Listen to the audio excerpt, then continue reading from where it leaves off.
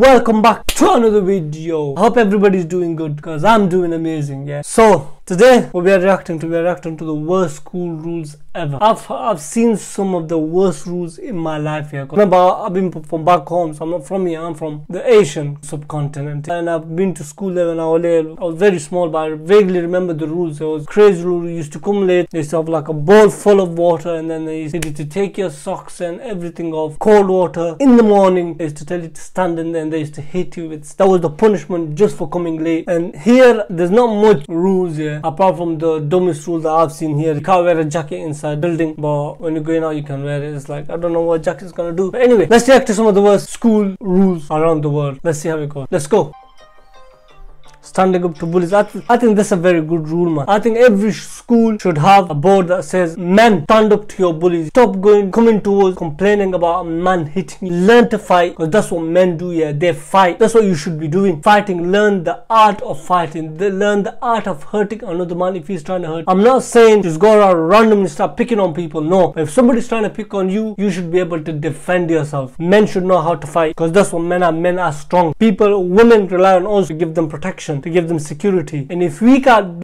back ourselves, how are we going to defend somebody else? Give lunch money. If you lean back on your chair, you have to pay all of your lunch money to the teacher. What? No snitching. You can get detention for complaining to a teacher about a bully. Can't mingle. Girls and boys cannot sit together in school and college premises. Mm, no best friends. Protect students from the trauma having breakup with close friends. Bra check. If fifth grade girls are not wearing them, they are sent directly home. I think this is American. I don't know what fifth grade is, but okay. Toilets closed for a week. If they find someone has been peeing outside the urinal, they close it for a week. Damn, bro, what's happening? No backpacks.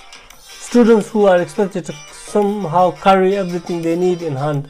Toilet paper rationing. A teacher distributes a few squares of one plastic why is this happening? Bro, I hope this is not in like the Middle East or one ply toilet paper. Bro, use water. All the students in that in that school here use water. Trust me, it's more healthier and it's uh, better than toilet paper, man. One ply. It's gonna hurt your backside. Grade drop. If you walk into the class late, your grade drops a letter.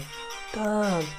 Actually, you know what? That's a good way. That's a good way of actually ma making sure that every single person attends on time. That's a good. rule. I agree with that. No running at all. I don't know, man. This running thing, yeah. Because I remember in my, in my, school, me and my mate, we used to just go around the halls chasing each other, and it was so fun. I used to go around and teachers used to wild, wild and dive off people. People used to walk in the corner and just go slide in, slide out, try going chasing them. We used to play tick tick. It was the best feeling ever. I remember we got trouble sometimes, but even the teachers they didn't know our names, and so we used to just run around and let them chase us. They never got anyway.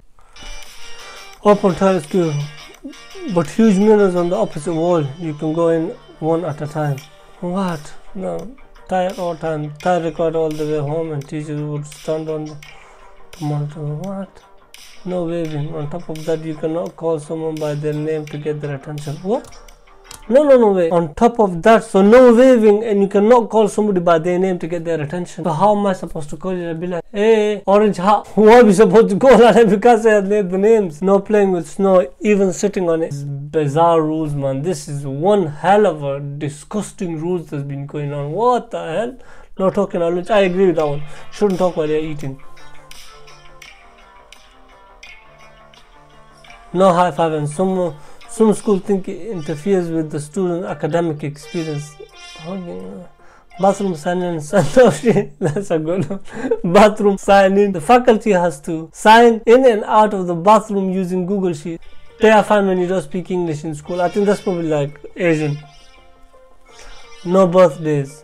Prevents you from doing crazy things like food, egg war. Oh shower practice. If you skip a day, if you skip a shower, you have to show up after school for supervised shower. Let me just picture this here. Let me. So you haven't had a shower, and you go into school, and your teacher like, "Have you had a shower?" And you're like, "No." They're like, "Okay, come after school. We're gonna supervise your shower." And you're having a shower, and he's just looking at you. Okay, that place is not clean. just rub that on. Oh, apply some soap there. Oh, massage your head. Oh, oh, you can't reach your back. Okay, I'll do it for you. Bloods and crisps. You can't wear solid blue or red shirt as they are gang colors. Hmm. No excuse. If you try to defend yourself from any accusation, it is an excuse. No hoodies in winter. You risk having your hood cut off if found wearing one. no mistake. Oh, one school doesn't allow any erasers and students are not told why. I don't know what the reason could that be for. Improper. Is in front of party. I'm about an inch longer than the thin part. No snowballs. I think that's one of the most. I don't know, like school should be a good experience. All these rules, all that, man. I don't know, man. They make it very stressful. You have to listen to a 15 minute lecture about lateness. Okay, that makes sense. Like you're late about certain amount of time.